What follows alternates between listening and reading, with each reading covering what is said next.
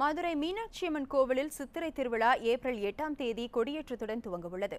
முக்கிய நிகழ்வான தேரோட்டம் ஏப்ரல் பதினெட்டாம் தேதி மக்களவைத் தேர்தல் நடைபெறும் நாளில் நடைபெறவுள்ளது.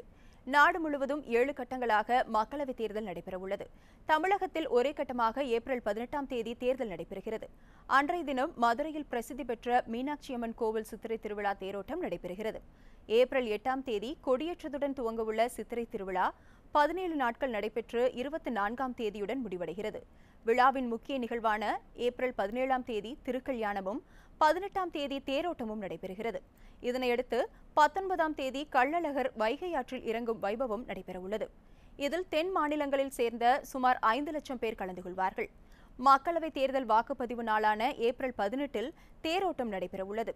எனவே தேர்தலை தள்ளி வைக்க வேண்டும் என்று பொதுமக்கள் கோரிக்கை விடுத்துள்ளனர்.